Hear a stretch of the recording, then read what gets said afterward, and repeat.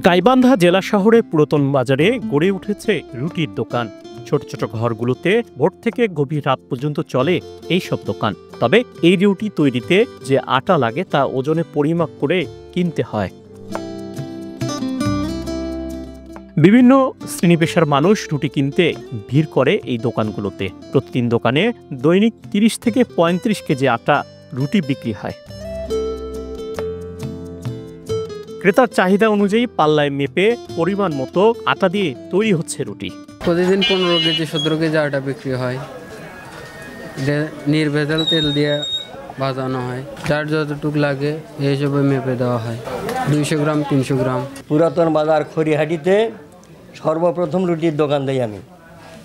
তখন এক পাঁচ কেজি পাঁচ সের আটার দাম ছিল বারো টাকা। আমি একটা রুটি বেচতাম পঞ্চাশ পয়সা। বা আট আনা আর আধা পাওয়া সেটা ওজন আর এক পাওয়া ওজন বেচতাম এক টাকা।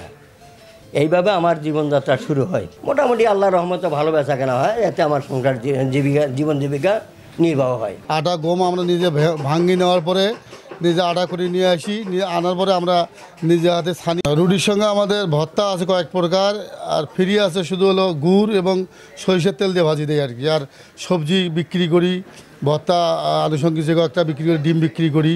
শুধু ফ্রির মধ্যে আপনার আখের গুড় যেটা আর কি, এটা আমরা ফ্রিতে দিই আর কি, রুটির সঙ্গে, দশ টাকা। উনচল্লিশ বছর আমার ব্যবসার বয়স, কিন্তু আমরা পাল্লা দিয়ে মাফি মাফি বেচি পাল্লা দিয়ে মাফি মাফি বেচলে কাস্টমারের একটু খায়া তৃপ্তি পায়। কেউ একশো গ্রাম খায় কেউ দুইশো গ্রাম খায়। ঐতিহ্য অনুসারে দীর্ঘদিন থেকে এই প্রথা চলে আসছে।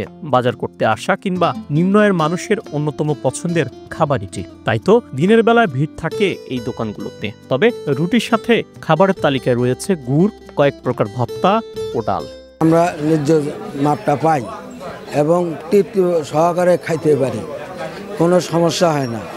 আমাদের চাহিদা মতনই আমরা এই খাদ্যকে গ্রহণ করি। প্রতিদিন আমরা মেপে মেপে নিয়ে খাই দুইশো গ্রাম খাই পেটে যা লাগে আমরা তাই মেপে নিয়ে খাই কারও দুইশো গ্রাম তিনশো গ্রাম লাগলে আমরা সেই অনুযায়ী নিতে পারি। ভাই ডাল আছে রুটি আছে আলু ভর্তা আছে ভালো লাগে।